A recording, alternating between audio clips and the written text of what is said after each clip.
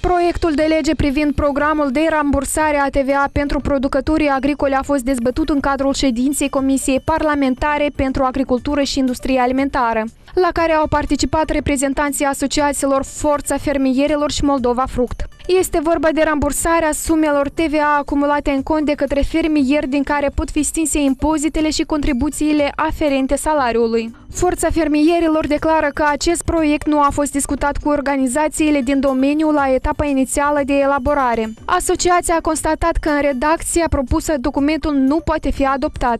În cadrul discuției au fost înaintate un șir de propuneri de îmbunătățire esențială a proiectului în cauză, precum extinderea termenului de aplicare a programului de rambursare a TVA până la 31 decembrie 2023. Aplicarea programului pentru toți agricultorii în contextul unei crize de proporții în sectorul agrar cauzată de secetă, restricții la export în Federația Rusă, scumpiri exorbitante pentru resurse necesare producerii și prețuri derizorii la materia primă. Rambursarea taxarea TVA la impozitele și contribuțiile calculate, ci nu achitarea, întrucât, în situația actuală, fermierii nu dispun de resurse financiare suficiente pentru plata impozitelor sau stingerea datoriilor agricultorilor față de stat cu TVA în cont prin compensări reciproce și fără transferuri bănești. Extinderea mecanismului de rambursare a TVA pentru mai multe impozite care urmează să achite agricultorii, în special pentru impozitul funciar și impozitul pe venit. Deputații în mare parte au căzut de acord cu propunerile reprezentanților asociațiilor agricole și urmează să discute subiectul cu Ministrul Finanțelor. Totodată a fost convenit faptul că prin decizia urgentă a Comisiei pentru situații excepționale va fi permisă depunerea dosarelor pentru subvenții la IPA fără certificatul de la Inspectoratul Fiscal privind lipsa datoriilor față de stat,